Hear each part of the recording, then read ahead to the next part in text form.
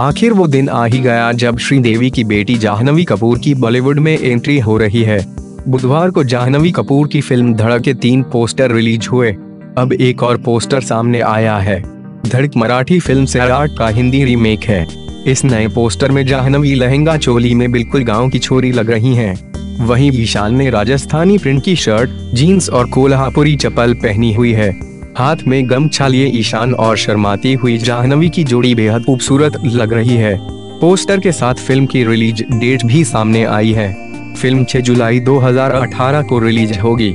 Media reports के मुताबिक, भले ही ये फ़िल्म सैराट की रीमेक हो, लेकिन इसे पूरी तरह से कॉपी नहीं किया जाएगा। ये एक लव स्टोरी है। फ़िल्म की शूटिंग अगले साल से राजस्थान में शुरू होगी।